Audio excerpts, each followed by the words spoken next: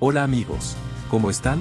Gimnasia de La Plata derrotó 1 a 0 a Lanús en el estadio Juan Carmelo Cerilo, por la décima sexta fecha, por un hierro del arquero Lucas Acosta. A continuación vemos, el único gol del partido.